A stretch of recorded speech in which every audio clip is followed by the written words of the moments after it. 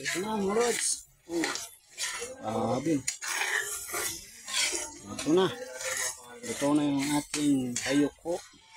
Good morning mga lods. Welcome back ulit sa ating ah, YouTube channel, sa ating YouTube channel, no? So, yan, dito tayo ngayon sa Gripuhan.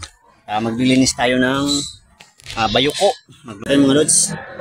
Parang golden ko lang siya, pero solid to mga lods. Napakasarap nito. So, ayan.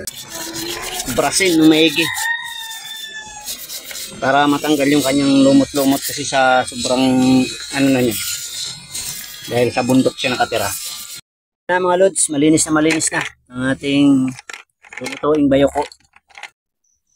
So ayan mga lods, pagkatapos natin hugasan ay atin na po siyang nilabunan para po matanggal natin siya sa kanyang shell. So ito na, nagkayod na po ako ng nyug. Ito po yung ah, gagamitin natin uh, panggata. Isang ah, pirasong niyog na kakayurin natin. Mas masarap po kasi pag uh, nyug na piniga yung ating gagamitin. Maliban po dun sa mga ready use na na gata ang katulad ng ano kumama. Ito talaga yung best katulad ng ating mga pagluluto sa probinsya. Dahil nga nandito tayo sa isang construction site, wala naman po ditong mga kultura. So improvise po natin na kultura niyan So ito na nga po mga lods. Uh, nakapagtapos na tayo mag-cleared. Sa ngayon, natin na pong tatanggalin sa shell yung bayoko na atin pong nalabunan. Agoy, napakainit man. so ayan po yung kanyang laman ng bayoko. Tatanggalan natin yan ng pinain yung banda dun sa may puntot ng uh, bayoko. So, meron tayong dyan tatanggalin. Siyempre, lilinisin natin yan ng maigi. Pagkatapos natin yung gayatin, ay ilalamas po natin yan sa asin. Para mas sure po tayo na mas malinis na malinis talaga ang ating uh, kakainin. Kasi siyempre, uh, sa bundok natin yan nakukuha. So, uh, gumagapang yan kung saan saan din. Pero malinis po yung bayoko na yan kasi yung kinakain lamang po nila ay uh, panay mga damo-damo lang, dahon-dahon. Kasi dumidikit yan sa mga puno. Kinakain nila yung mga dahon ng puno. Ayun po yung mga kinakain nila. Tapos sa saging, sa puno ng abaka, doon po sila ngayon dumidikit. So yan na nga, napilinis na po nga natin. Ayan po ay finish na po natin na nilinis, nilamas natin sa asin. So hindi ko na po napakita sa inyo kung paano yung prenosis.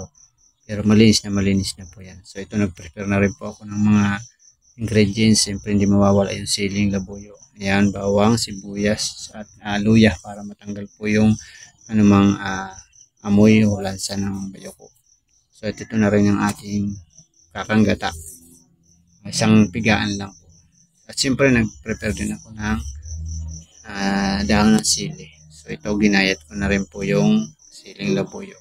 At ito na, magpainit na tayo ng mantika para sa paggisa. Maglagay na ako ng mantika po. Tapos ito na nga po, ang nilagay ko na rin yung bawang at sunod natin yung sibuyas. Pati na rin po yung luya na magtatanggal siyempre sa anumang hindi kanais-nais na amoy. So ito yung magtatanggal na luya. So ayan, napakabango. Luya, bawang, sibuyas pa lang. So ito na isunod na natin ang malinis na malinis na laman ng bayoko. At siyempre, mikos-mikos lang natin yan. Para mamix po natin yung mga ingredients sa lahat ng pinatad natin ng bayoko. So, mikos-mikos lang natin mga lods para mahalo-halo. At dito na po ay maglalagay ako ng uh, servers 1 tuyo. At ihalo natin para mamix ng po siya. Saglit lang po ito mga lods.